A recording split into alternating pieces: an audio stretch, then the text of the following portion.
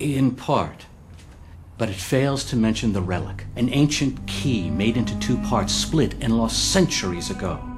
If this relic comes together when the great city of R'lyeh arises, it forms the key to Cthulhu's tomb. The stars are aligning.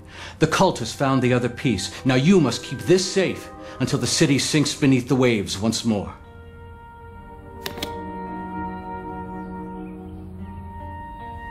This was fashioned by the old ones, using craft and skill lost long ago.